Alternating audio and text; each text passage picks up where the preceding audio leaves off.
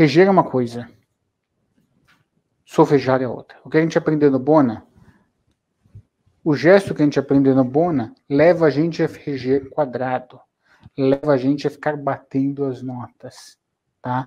É totalmente errado. A gente fica lá, é, todo mundo na escola, então aprende a bater as notas. E o ideal é algo que não tem nada a ver com aquilo, tem a ver com a regência. Agora, quando a gente não tem precisão nos gestos, é o quarto maior erro. O que, que eu quero dizer com isso?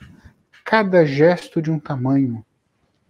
Ah, o 3 grande, ah, o 4 pequeno. Imprecisão nos gestos. Para você ter precisão nos gestos, você precisa estudar.